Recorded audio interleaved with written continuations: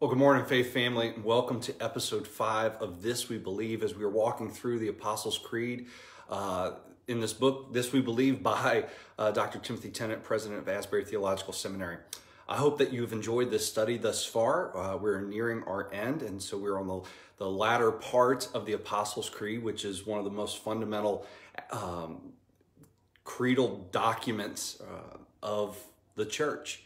And so, um, so glad that you're joining us. Uh, Candy, good morning. Thanks for being here. Reminder that this is going to go live. It's live on Facebook. It'll go. It'll post later in the day, and then we'll post this up on YouTube if you'd like to share this with uh, family or friends, and for them to join along as we delve into the creed.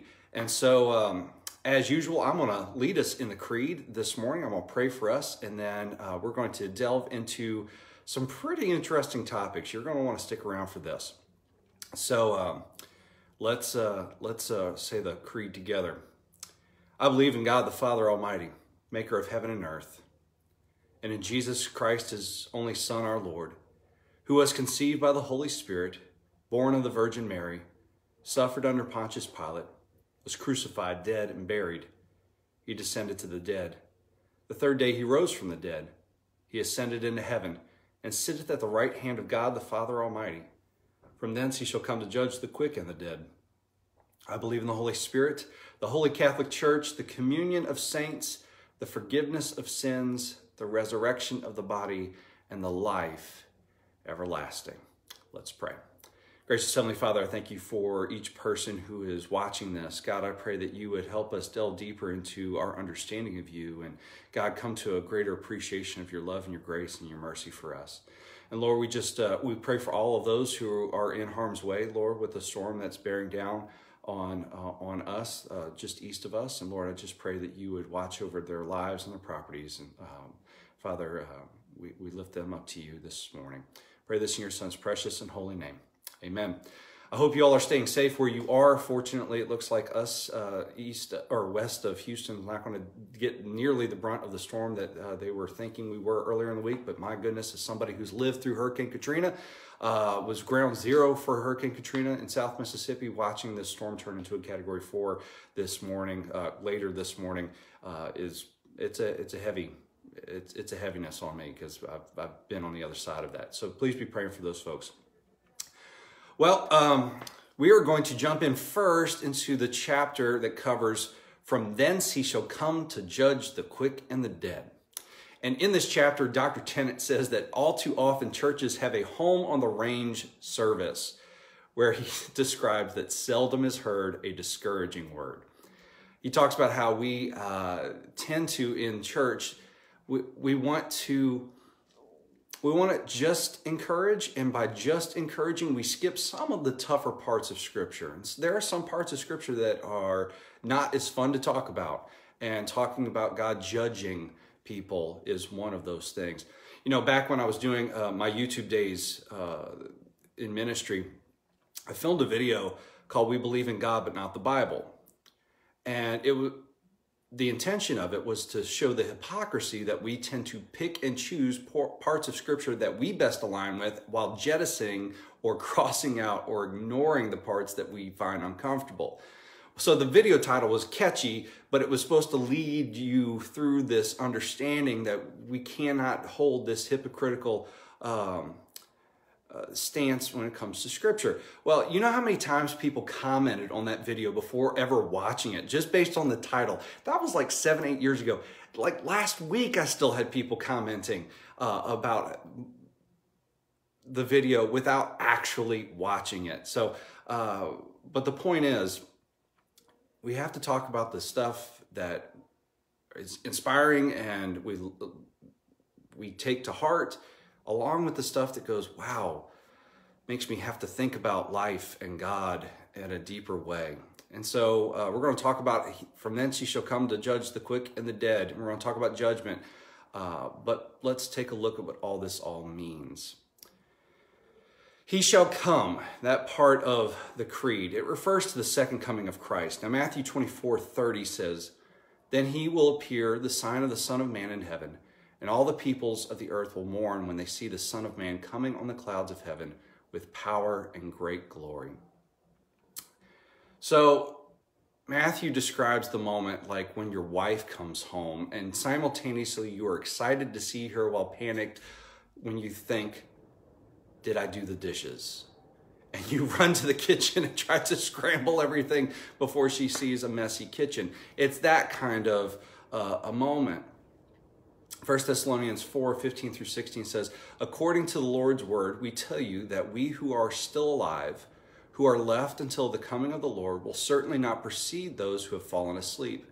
For the Lord himself will come down from heaven with a loud command, and the voice of the archangel, and the trumpet call of God, and the dead in Christ will rise first.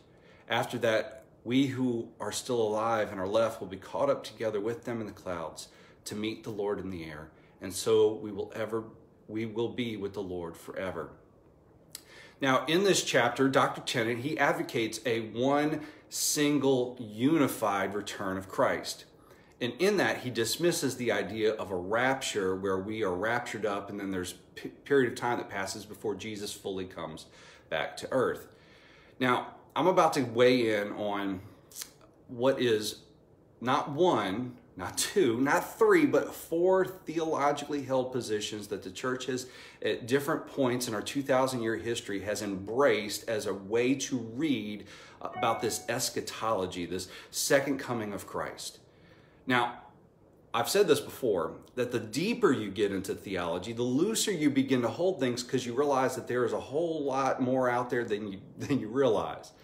Uh, you know, as Methodists, we evaluate uh, theological thoughts through what is called the Wesleyan quadrilateral. And that Wesleyan quadrilateral, it's not to say that all four parts are equal. I like to think of it more as a pyramid. But that through uh, these four th- ways, we interpret theological positionings. Uh, so, number one is scripture. Number two is tradition. Number three is reason. And number four is experience. And so we look through these lenses to evaluate theological positions. So we look at what Scripture says, we look at what the church, 2,000 years of church tradition has weighed in on this, and we look at reason because God gave us minds to think, and God gives us experiences with the Holy Spirit to help uh, interpret what we are reading. And so, with that being said, I want you to understand that. Um, we I like to look at what the whole church for 2,000 years has said on particular theological topics, including the uh, the very confusing one of eschatology.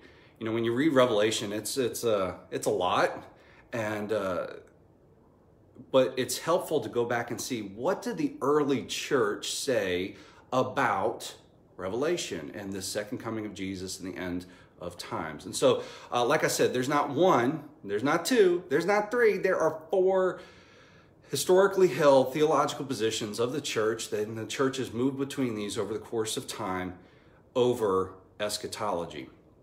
And so the first one is probably the one you are most familiar with. It's the one that I was taught growing up. And I did not know that there were other ones until I went to seminary and realized that there were other positions that the church has held throughout its 2,000 year history. But the first one is called dispensational premillennialism. Now, dispensational premillennialism holds that Christ will come before a seven year period of intense tribulation to take his church, the living and the dead, into heaven. After this period of fulfillment of divine wrath, he shall then return to rule from a holy city, the New Jerusalem, over the earthly nations for 1,000 years. In these thousand years, Satan, who will be bound up during Christ's earthly reign, will be loosened after those thousand years, will be loosened to deceive the nations, gather an army of the deceived, and take up, take up to battle against the Lord. This battle will end in both judgment of the wicked and Satan and the entrance into the eternal state of glory by righteous, by the righteous. This view is called premillennialism because it places the return of Christ before the millennium, and it's called dispensational because it is founded in the doctrines of dispensationalism. Let's get into what some of the particulars of this mean. This position holds that both Israel and the church uh, are two distinct identities with two distinct and individual redemptive plan. So you got the redemption of Israel through one means and the redemption of the church through another means. Uh, they believe in the rapture of the church. So the church is raptured before the seven year tribulation time. And this tribulational period uh, contains the reign of the Antichrist. This position holds the millennium, um, that Christ will return at the end of this great tribulation to institute a thousand year rule from the holy city, meaning the New Jerusalem. And those who come to believe in Christ during the seventh uh, week of Daniel, including the 144,000 Jews, uh, and survive will go on to populate the earth during this time. Now, those who are raptured or raised previously to the tribulation period will reign with Christ over the millennial population. Now, this, uh, this interpretation uh, raises to higher degrees present day events in light of end times prophecy. So you'll hear people talk about the signs of the times. The millennium will see the reestablishment of temple worship and sacrifice as a remembrance to Christ's sacrifice. So during the thousand year period of time people sin, then we will go back to a sacrificial system of animals in the temple in the New Jerusalem. And then from the millennial ending, the white throne judgment will take place. And at the white throne judgment, uh, Satan and all unbelievers will be thrown into the lake of fire, and Christ and all the saints will proceed into eternal glory. Now, if this sounds familiar to you, it's probably because this is what uh, the Left Behind series that came out back in the late uh, 1990s and early 2000s uh, espoused. I read a lot of those books at the time. Of course, uh, that was around the time that 9-11 hit, and so life got a little too real, and so I, uh, I had to put the, the series down at the time. So this is what I was taught growing up, which is probably what you've heard growing up. Uh, now, this is where history gets interesting. This particular theological stance of premillennial dispensationalism did not come about until 1866 when a guy by the name of James Inglis introduced this in a small publication called the Believers Meeting for Bible Study. Now, one of the readers of that publication was an evangelist at the time named Dwight L. Moody. Now, Dwight L. Moody was one of the most famous evangelists in American history, and he began to espouse this theology. And because he, being this leading evangelist, espoused this theology, it wove its way into a Bible that was popular at the time. It was called the Scofield Reference Bible. It was the number one selling Bible at the turn of the 20th century.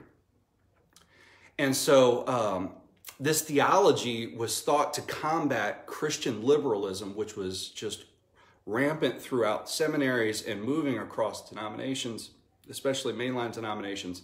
And so this theology was thought as a uh, combatant to that Christian liberalism. Now, dispensations, when you talk about dispensations, uh, that theology is wrapped in the idea that God deals with humans in different ways at different points in history. And so it starts off with innocence in the garden, it goes to having a conscience after the uh, sin enters the picture, moving on to the, the time frame of governments ruling, and then there's the promise of, covenants and the with Abraham, and then it moves into the law with Moses, and then under Jesus we are under grace, and then finally at the end of the time it's this millennial reign of Christ. So God deals differently with humanity through these different dispensations. Now, it's grown immensely in popularity in America. Not necessarily the rest of Christianity around the world, but American Christianity has been profoundly shaped in the 20th century by this particular theological viewpoint, with Dallas Theological Seminary being one of the main proponents of this theology. So that's number one. I need to take a sip of water. If you have questions, I'm going to try to answer them. So leave those in a comment down below. I'm doing a better job this week with the way my setup is to be able to see your comments as you're leaving them. And good morning to all of you. So glad that you're joining. We're getting pretty deep this morning. Um, so number two, number two is historic premillennialism. And historic premillennialists place the return of Christ just before the millennium and just after a time of great apostasy and tribulation. Now, after the millennium, Satan will be loosed and Gog and Magog will rise against the kingdom of God. This will be immediately followed by the final judgment.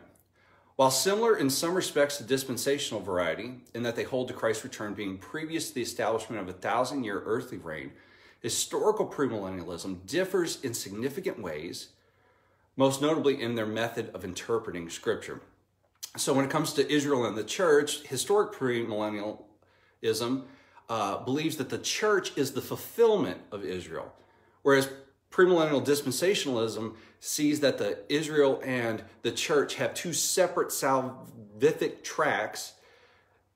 Historic premillennialism, excuse me, these are big words, believes that the church is the fulfillment of Israel and that the kingdom of God is present through the Spirit since Pentecost. So, since the Holy Spirit has come uh, at Pentecost, we are living in the kingdom of God, but it's to be experienced by sight, not just as a spiritual reality, but by sight during the millennium after Christ returns. So, when Christ is here, then we see the full ushering in of the kingdom of God. Now, this position believes that the rapture meaning the saints, the living and the dead, shall meet the Lord in the clouds immediately preceding the millennial reign. Uh, and Tennent goes into this chapter a little bit more about like it's a once event. We meet Jesus as Jesus is coming down, and we then come back to earth with Christ. There's not a seven year lag between us meeting Jesus and then disappearing for seven years and then coming back. Historic premillennialism holds that the rapture is a singular event with uh, Christ's second coming. Now, in this, the millennium, uh, Christ will return to institute a thousand year reign on earth, so that's similar to the uh, premillennial dispensationalism. And the millennium will see the reestablishment of temple worship and sacrifice as a remembrance of Christ's sacrifice. So there's some similarities there between the first and second theological positions. Now, some of the early church fathers held this view. So, some of the people closest to the time of Jesus believed in this uh, in the first few centuries of the church. And this is what Dr. Tennent is espousing um, is this pre historic premillennialism. So that's number two. Number three is postmillennialism. The postmillennialism believes that the millennium is not an era, not a literal thousand years during which Christ will reign over the earth, not from a literal and earthly throne, but through the gradual increase of the gospel and its power to change lives. Over this gradual Christi- Christianization of the world, Christ will return and immediately usher the church into their eternal state after judging the wicked. This is called postmillennial because, by its view, Christ will return after the millennium. So basically, postmillennialism sees that the, the church has done its job so very well that we have Christianized the whole world and I mean, we've lived into the kingdom of God at that point, and Jesus then returns after the church has done its job. As far as Israel and the church, they also believe that the church is the fulfillment of Israel. As far as the kingdom of God, they believe it is a spiritual entity experienced on earth through the Christian, Christianizing effect of the gospel. So uh, it's just the steady ramp up of the kingdom of God through people's faith. In the millennium, they believe uh, the golden age previous to Christ's second advent, during which Christ will vi- virtually rule over the whole earth through an unprecedented spread of the gospel, that a large majority of the people will be Christian. It's not a literal thousand years, it's a figurative time period in which the church uh, does its job. Now, postmillennialism was very popular among American evangelicals in the period of unprecedented technological growth between 1870 and 1915. Well, what happened in 1915? World War I was a thing. And World War I served to squash this tremendous optimism regarding the growth of technology and the optimism around the future of man. I mean, we saw the darkest parts of ourselves emerge in the 20th century. Uh, and so that was carried over into the church in that form of optimistic eschatology, and that kind of came crumbling down. And this around the same time as the um, uh, uh, dispensational premillennialism is taking off as they're seeing the world kind of just falling apart and people going, see, signs of the times. And so it's interesting how history has interacted with the theological thought of the church at various points in time. Fourth, number four, amillennialism. Now, the amillennialism believes that the kingdom of God was inaugurated at Christ's resurrection, hence the term inaugurate, inaugurated millennialism. At which point, uh, Jesus gained victory over Satan and the curse, which is sin. Christ is now reigning, hence the term nunc millennialism, nunc meaning now. Um, and he's reigning at the right hand of the Father over the church. We've talked about that already in previous episodes. Well, after this present age has ended, Christ will return and immediately usher in usher the church into their eternal state after judging the wicked. The term amillennialism uh, is actually a misnomer for it implies that Revelation 21 through 6 is ignored. In fact, amillennialist hermeneutic interprets it, in fact, much of the apocalyptic literature as non-literal. So amillennialism believes that since Jesus' death and resurrection, Jesus has conquered everything. We are living into the millennial right now. So it's not like a literal thousand years, but this is what, I mean, we're living into the reign of Christ as we speak. As far as Israel and the church is concerned, the church is the eschatology, blah, blah, blah, speak for a living. Uh, the church is the fulfillment of Israel, just as the way as uh, positions two and three hold as well. As far as the kingdom of God, they believe it's a spiritual reality that all Christians partake in and that it is seen presently by faith, but will be grasped by sight at the consummation when Jesus finally returns. Uh, the rapture, under this view, uh, is that the saints, the living and the dead, shall meet with the Lord in the clouds and immediately proceed to the to judge nations when Christ, uh, and then follow him into their eternal state. As far as the millennium, uh, it's inaugurated with Christ's resurrection. So it's, it's already happened 2,000 years ago in this view. Uh, it's this already but not yet sense. Uh, Christ already reigns over all and is already victor- victorious over Satan. Now, um, this position has higher degrees of interpreting prophecy in light of Christ's advent and death, resurrection, and glorification. But what's fascinating is that amillennialism has been the majority position of the church, the global church, over the course of 2,000 years. So it's fascinating to see where the church has landed at different points in our history. And as Methodists, you can hold any one of these four and be considered a faithful Methodist. We're a big umbrella when it comes to theological interpretation. Curious what has shaped you and what your thoughts are. I've struggled with this uh, as far as which one makes most sense to me biblically. Um, I do understand Revelation is a difficult book to read, and anybody who can say that they've got it fully figured out, um, it's it's prophecy, it's apocalyptic prophecy, and anybody who can say definitively that they've got Revelation figured out is probably trying to sell you on their book. Now, in this line of the Apostles' Creed, it talks about God judging. And scripture talks about the judgment seat of God. Now, I spoke in an episode previous uh, where I said that uh, there is no resurrection of the unjust. Uh, John 5, 28 through 29 says, Do not be amazed by this, for a time is coming when all men in their graves will hear his voice and come out. Those who have done what is good to rise to live, and those who have done what is evil to rise to be condemned. So there will be a physical reunification even with those who aren't in Christ. Um, but that one day everybody will stand before Jesus and be judged. Romans 14:10 says, "You then, why do you judge your brother or sister, or why do you treat them with contempt? For we will all stand before God's judgment seat." Romans 2:16 says, "This will take place on the day when God judges people's secrets through Jesus Christ, as my gospel declares." Are you nervous about that? Yeah, me too. Um, Luke 12, 2 through 3 says, there is nothing concealed that will not be disclosed, or hidden that will not, not be made known. What you have said in the dark will be heard in the daylight, and what you have whispered in the ear in the inner rooms will be proclaimed from the rooftops. And so one day, everything we've done will be brought to light.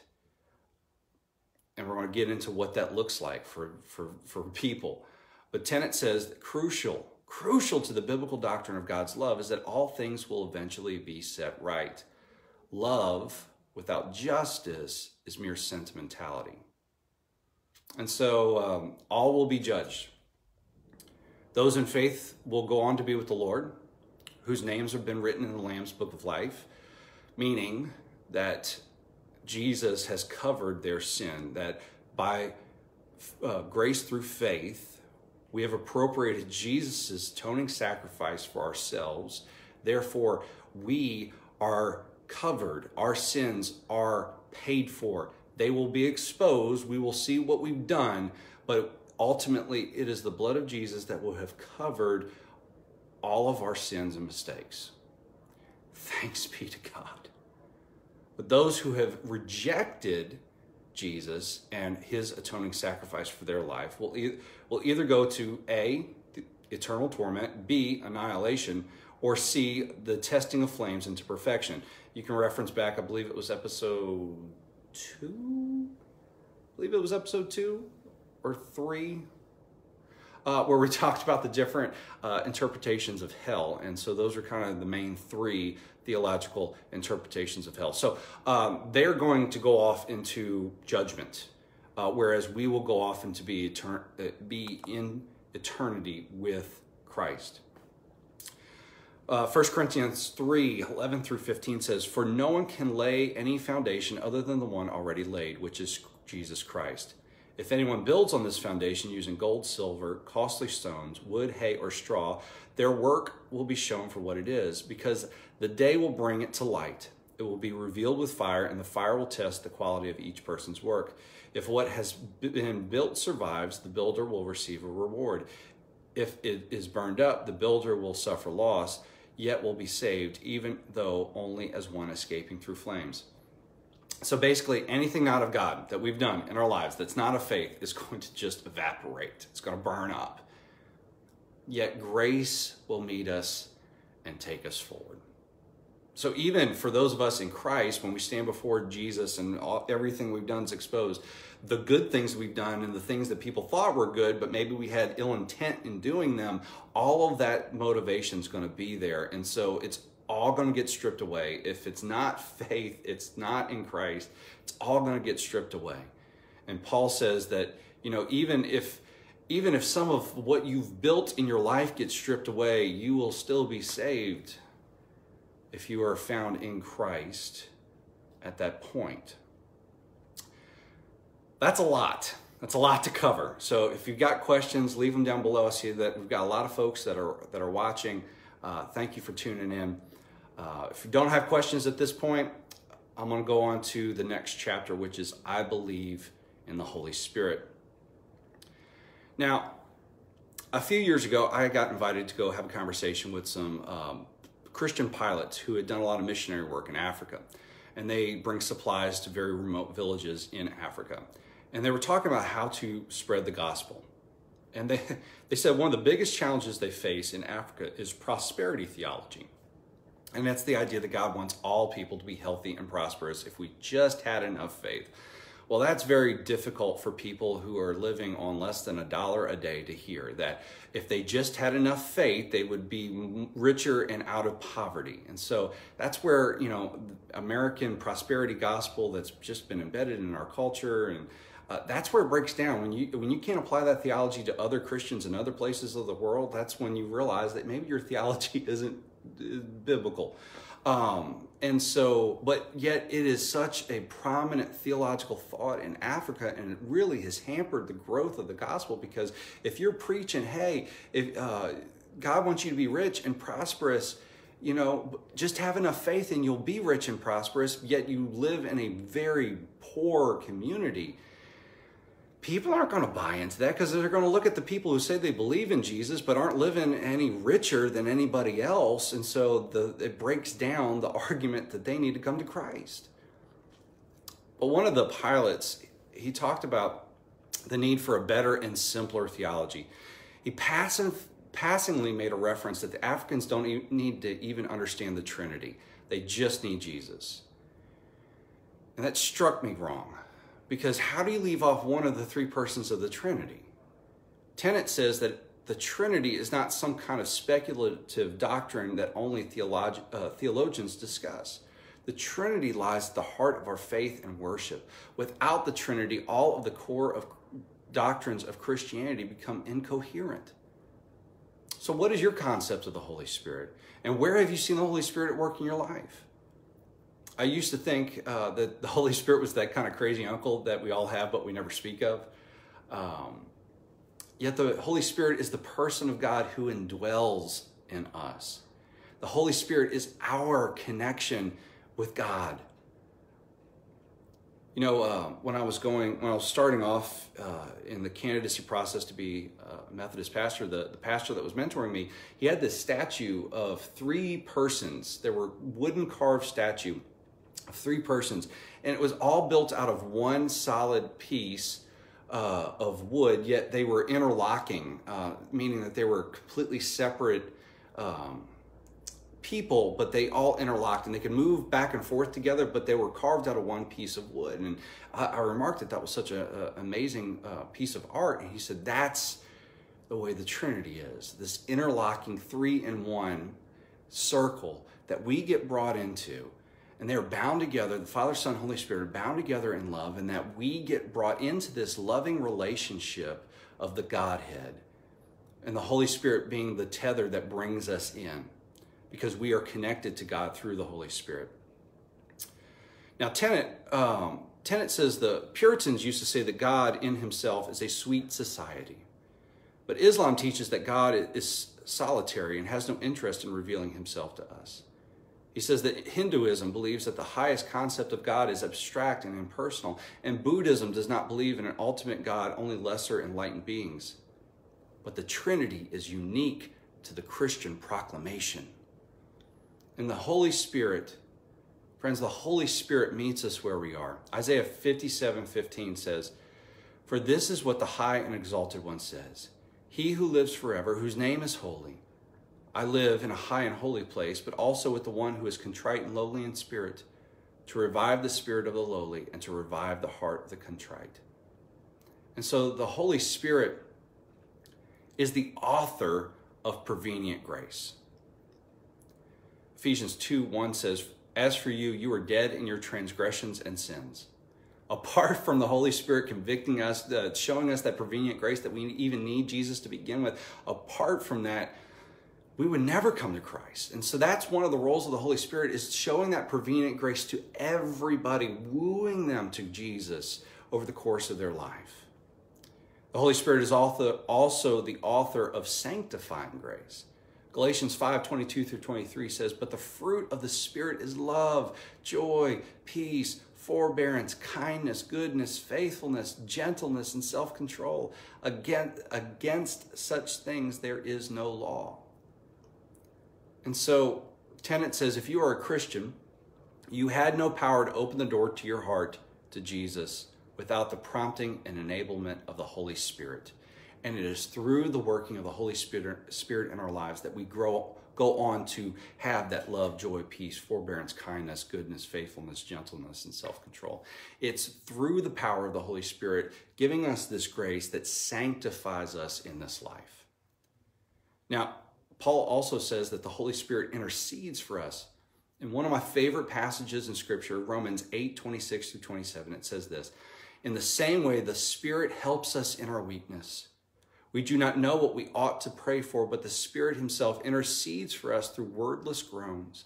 And He who searches our hearts knows the mind of the Spirit, because the Spirit intercedes for God's people in accordance with the will of God. I love that, that even when you don't know what to pray, the Holy Spirit is praying for you. That's part of the role of the Holy Spirit who is indwelling your life to take up those requests and make them known to the Father. And the Holy Spirit also guides us. Romans 8:14 says, "For all who are being led by the Spirit of God, these are sons of God." Galatians 5:18 says, "But if you are led by the Spirit, you are not under the law." There have been many times in my life where I've had that like Holy Spirit nudge where God just is leading you to do something. And often I tell people that you can tell it's the Holy Spirit leading you when it's something that you wouldn't otherwise choose for yourself. If it's something that you wouldn't otherwise want to do, but it's something that's good, it's just rather uncomfortable, you pretty much bet that that's the Holy Spirit nudging you in your life. I once had a, uh, a, situation where I was doing hospital visits and I left the hospital room that I was visiting and I went down and as I exited the, the elevator, I looked to my left and there was the waiting room. And uh, I always check the waiting room to see if there was somebody that I knew or recognized in there. And as I passed by the waiting room, there was a man uh, whose head was down and it looked as if he was crying. Well, as I walked by, I felt the Holy Spirit say, Go pray for him. And I said, No. And I kept walking. I, I thought and reasoned with God, they have hospital chaplains. It's a Catholic hospital. That's what they do. That's their job is to pray for people like this. And as I got most of the way back to the entrance of the uh, hospital, the Holy Spirit yet again said, Stop, turn around and go pray for the man. So I stopped and I turned around, but as I was making a deal with God, because I didn't want to just awkwardly walk up and ask the man if I could pray for him, I ducked into what used to be the gift shop. Now, I hadn't been to that hospital in a little while, and as I walked into the gift shop, I started looking through the glass to peer in, and through the glass to see if the guy was maybe just having allergies or something. I, just, I wanted to assess the situation. So I'm standing in what I thought was the gift shop, looking out at the man, and the woman behind the desk says, Sir, can I help you? Well, I look up and realize that they renovated the gift shop and it no longer was a gift shop, it was a lactation specialty store. So I looked at the woman, I saw what was in the store, and without thinking, I said, No thanks, ma'am, I'm just looking. So then I felt obligated to take a walk around the store and pretend to be interested in this lactation specialty paraphernalia. I finished walking around the store, said thank you to the woman, and immediately walked over to the man sitting there crying because at this point, God clearly needed me to go pray for him. And I was like Jonah, I just gave up and went and did what I was asked to do. I walked up to the man. I said, Sir, I'm a pastor. Can I pray for you? And he looked at me and said, Yes, please. He wasn't from our country, he was somewhere from Europe. And so, through uh, English, clearly wasn't his first language, but he said, My wife has been taken back to have our first child, but there's complications, and so they sent me out. Would you pray for us? So I laid my hand on his shoulder, and I started to cry as I prayed for him and his wife and his unborn child. The Holy Spirit nudges us, leading us to do things we wouldn't otherwise choose for ourselves. And the Holy Spirit, lastly, extends the inbreaking of the kingdom of God. It is through the Spirit of God that the kingdom that Jesus talked about is built on this earth as it is in heaven. It's through that kind of happening where the Holy Spirit nudges you and prompts something inside of you that the, the kingdom that Jesus is trying to build and expand grows and inbreaks in our world today on earth as it already is in heaven. To close out, I'll, I'll quote Dr. Tennent when he says, I am convinced that a church that does not preach the triune God, even if they speak of Jesus regularly, will eventually lose a proper view of God's true holiness. Indeed, to most people today, a sense of awe comes only with the greatest difficulty. For many Christians, God has become domesticated and put in a box so that we can pull him out when we need him. We need to catch a renewed glimpse of the glory and the majesty of the triune God. Friends, one of the things that I hope that you have gained out of this study, and feel free to go back to previous episodes, is a deeper sense of awe and wonder of the God that we profess. Because I think that that leads us into a different way of living. Friends, thank you for watching. Uh, we've got one more episode next Wednesday. And we're going to take a few weeks off, or a week off, and then we're going to jump into a new study called 19 Questions to Kindle a Wesleyan Spirit by Dr. Reverend Carolyn Moore, who is also an Asbury alum. And uh, I, I think uh, as we delve into what our Methodist roots are and what it means to be Wesleyan, that this study is going to be a great conversation starter for us. So hopefully that you will join us. I do plan on offering that in person uh, we will probably uh, stream it. I'll have the phone going while we while I talk or something along those lines. But we'll we will meet in person in the annex both uh, Wednesday morning and Wednesday evening because by that point we will be back in person. Uh, so may you be blessed. May these things cause you to think a whole lot deeper about what we say we believe, and may we grow closer to God because of it. I will see you all Sunday morning. God bless.